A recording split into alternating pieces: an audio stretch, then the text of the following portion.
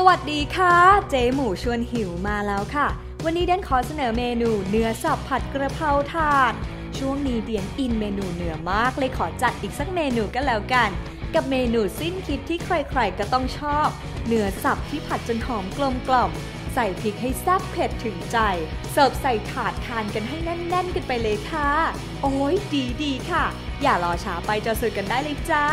ขั้นตอนการเตรียมวัตถุดิบ ใส่กระเทียมลงในครกค่ะ ตามด้วยพริกแดง แล้วเดียนก็จะใส่ดอกกระเพราลงไปด้วยจ้ะ เพื่อเพิ่มความหอมคูณ 2 ไปเลยค่ะ จากนั้นโขลกส่วนผสมให้ละเอียดเข้ากันค่ะ เมื่อส่วนผสมเข้ากันดีแล้วนำไปพักไว้ก่อนเลยค่ะ มาหั่นเนื้อกันจ้ะ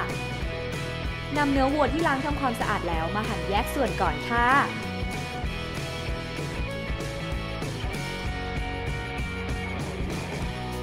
เมื่อแยกส่วนเสร็จแล้วนำมาหั่นเป็นชิ้นเล็กๆ ได้เลยจ้ะ เวลาสับจะได้สับได้ง่ายนั่นเอง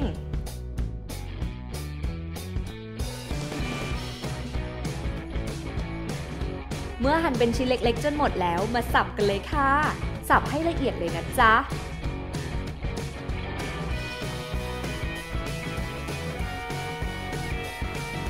เมื่อละเอียดได้ตามที่ต้องการแล้วนำไปพักไว้ก่อนได้เลยค่ะ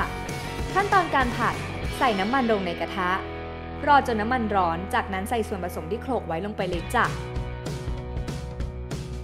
แล้วก็ผัดส่วนผสมให้เกิดกลิ่นหอมสักเล็กน้อยนะคะ เมื่อหอมได้ที่ก็ใส่เนื้อสับลงไปเลยค่ะ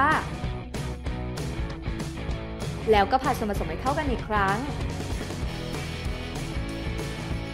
ผัดให้เนื้อสับสุกเลยนะจ๊ะเมื่อสุกได้ที่แล้วก็ปรุงรสกันเลยค่ะ ใส่ซอสหอยนางรม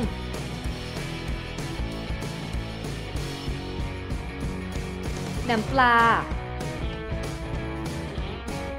น้ำตาล จากนั้นผัดส่วนผสมให้เข้ากันเลยค่ะ กลิ่นหอมหอม หอมมากอย่าบอกใครเลยค่ะ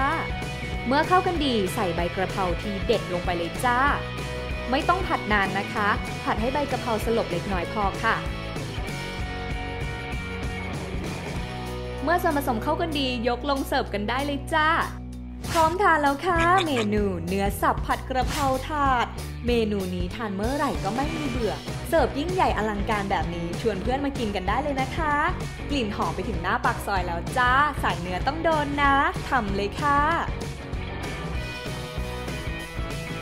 สามารถติดตามเมนูอร่อยๆ อีกมากมาย ของเจ๊หมูได้ที่ Facebook IG Twitter กดใส่คำว่าหมูหิวได้เลยนะคะ รับรองจะได้สูตรเด็ดก่อนใครเลยค่ะ